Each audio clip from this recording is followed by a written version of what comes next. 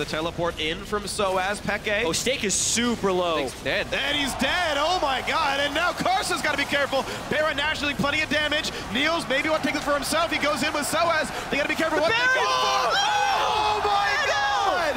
NL getting more headshots than Scream, killing everybody. Oh my lord, and you could see the Oh hesitation on Soaz. He walked away from the Baron, then tried to get back again, but Niels and NL had one thing on their mind, and it was killing the Baron right now. Completely game-defining moment right there.